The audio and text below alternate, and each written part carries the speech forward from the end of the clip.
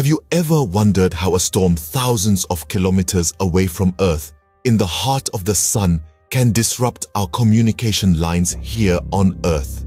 This is the cosmic enigma we're about to unravel. These disturbances, known as solar storms, originate in the Sun and journey through space right towards our home planet. The Earth, protected by its magnetic field, is a hub of intricate communication lines. So, how does the drama unfolding in the cosmos affect us? Let's dive deep into the world of solar storms and their impact on our communication systems. Solar storms, also known as solar flares, are massive explosions on the sun's surface that release enormous amounts of energy and charged particles into space. These eruptions are caused by intense magnetic activity on the sun's surface. Imagine a rubber band being twisted and twisted until it suddenly snaps, releasing all its energy at once. That's somewhat like a solar storm. These storms catapult a sea of charged particles, or plasma, into space. This plasma, carried by the solar wind, embarks on a journey that can lead it towards Earth. It's a cosmic voyage that can take two to three days.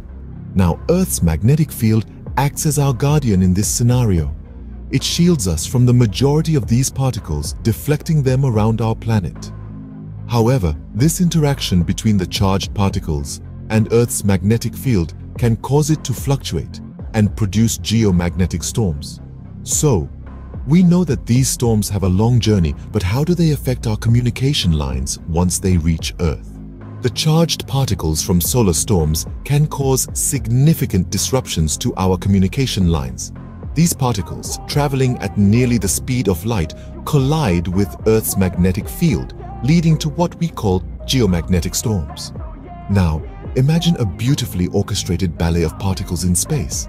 That's what's happening in these storms. But this cosmic ballet isn't without consequences. These geomagnetic storms interfere with our satellites, the bedrock of our modern communication. They disrupt satellite communications, affecting everything from weather forecasting to television broadcasting. But it doesn't stop there. They also impact our GPS systems, making navigation unreliable. Ever experienced a GPS going haywire? It could be the aftermath of a solar storm.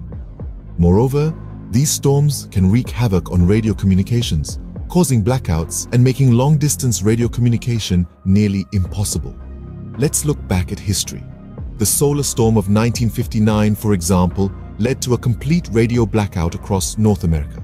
So, solar storms, despite their distance, have a significant impact on our everyday lives. In the last few minutes, we have journeyed from the heart of the sun to our communication lines here on Earth. We've unraveled the enigma of solar storms, from their fiery formation to their epic journey across the cosmos we've seen how they interact with Earth's magnetic field, causing disruptions that ripple through our communication networks. And now we understand their impact on our daily tech, from GPS to satellite TV.